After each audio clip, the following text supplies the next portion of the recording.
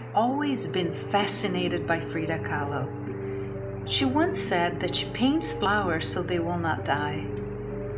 She wrote a friend and said, A little while ago, not much more than a few days ago, I was a child who went about in a world of colors, of hard and tangible forms. Everything was mysterious and something was hidden. Guessing what it was was a game for me.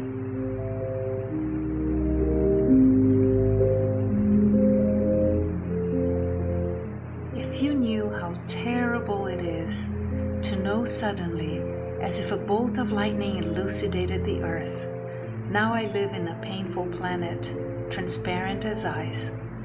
But it is as if I had learned everything at once, in seconds. I think of Frida and her strength and vulnerability, her pain and pleasure. I see so many of us women going through our lives and experiencing these paradoxical realities. I am forever inspired by Frida Kahlo.